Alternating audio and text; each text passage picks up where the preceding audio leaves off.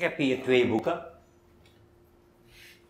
En dat is I Ching, is een um, orakelboek. In 1975 zou Suriname onafhankelijk worden, politiek Suriname.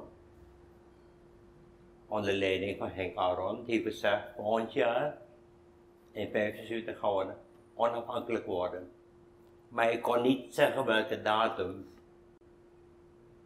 Voor de jonge generatie als jij, moet je namelijk weten, in april 1975 wisten we niet eens welke dag wij onafhankelijk zouden worden.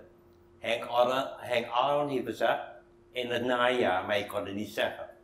Veel later, in een gesprek met de, mensen, ben, hebben ze mij verteld, en ik weet niet of het verhaal waar is, Henk Aron zocht naar een datum dat gunstig is voor de toekomst van Suriname. Hij en een vriend zijn naar een Bonneman gegaan, en dat was na april, hebben ze om advies gevraagd. En die Bonneman heeft gezegd 25 november. Pas in mei wisten we dat over een paar maanden wij onafhankelijk zouden worden. En ik heb een jong gezin. Ik had een baby van een maand. En ik heb een zoon van vier jaar. Dus ik wilde weten wat gaat gebeuren. Want al mijn vrienden en de meeste mensen, dat zijn er meer dan 100.000, zijn vertrokken naar Nederland. Dus iedereen staat te twijfelen, moet ik het doen of moet ik het niet doen? En ik heb dit boek gepakt, dat is een orakel, en ik heb me vraag gesteld, wat gebeurt er als Suriname onafhankelijk wordt?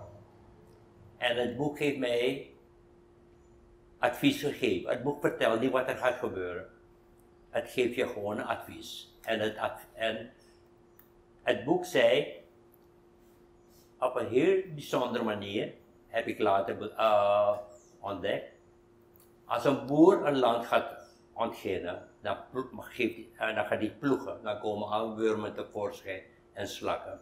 Dan zet hij zijn zaad erin en dan maakt hij dicht en dan wacht hij af, dan, komt, dan begint het te bloeien, dan krijg je een kiem, je ziet een stukje groen en de taak van de boer in de komende maanden is die zaad beschermen tegen onkruid.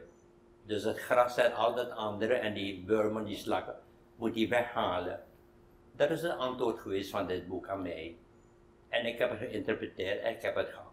Ik had er vertrouwen in, ik heb nog steeds vertrouwen in, dat die boer het gaat kunnen oosten van wat hij heeft gepland. Maar wat hebben we gezien in de praktijk hier? Suriname is onafhankelijk, maar niet onafhankelijk financieel, want Suriname heeft een cadeau gehad, financieel. En dat is funest geweest voor Suriname. Want Suriname hoefde niet te werken, hij hoefde niet voor te vechten, hij hoeft geen uh, koloniaal door de rode. Hij heeft het cadeau gehad en Suriname is lui geworden.